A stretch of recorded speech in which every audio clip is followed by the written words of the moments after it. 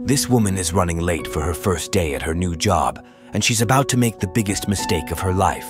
She rushes into the building and quickly runs to the elevator as the doors are closing. Thinking the man in the elevator didn't hold it for her, she calls him a bad name and bangs on the elevator doors. But as she turns around to walk away, the doors open revealing the man actually did hold the elevator for her. She steps in, awkwardly, and thanks him, but then he asks her what she called him.